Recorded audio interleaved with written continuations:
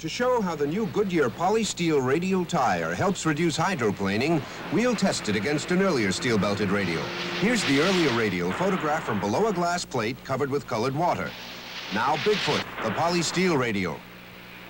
The photographs show part of this tire is actually riding on water. That's hydroplaning.